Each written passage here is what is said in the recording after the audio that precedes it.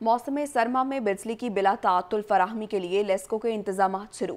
زمان park میں بھی وزیر اعظم کے گھر کو بجلی کی فراہمی یقینی، فیڈرز پر آنے والی درختوں کی شاخیں کاٹ دی گئیں۔ رانا فہد کی رپورٹ۔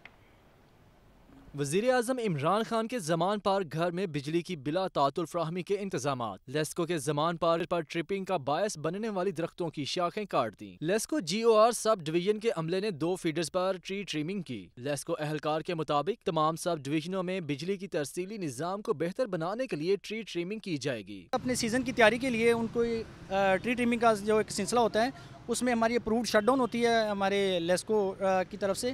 تو اس میں ہمیں شیڈول دیا جاتا ہے، اس میں پھر ہم جو شیڈول وائز فیڈر ہوتے ہیں، ان کو بند کر کے ان کے درختوں کی ٹری ٹرمنگ کی جاتی ہے۔ آج ہمارے دو فیڈر بند ہیں، ان میں ایک زمان پارک فیڈر ہے جس سے سپلائی ہمارے پرائم منسٹر عمران خان کے گھر جا رہی ہے، اور دوسرا ہمارا ایک فیڈر ہے ایچ بی ایل یہ H B L head quarter کو جا رہی ہے، اس کی سپلائی لیسکو انتظامیہ موسم سرما میں بجلی کی بلا تعطل فراہمی کے لیے مختلف علاقوں میں گریڈ سٹیشنز کی مرمت کر رہی ہے۔ کیمرامین مہران یونس کے ساتھ رانا فاہد، لاہور نیوز۔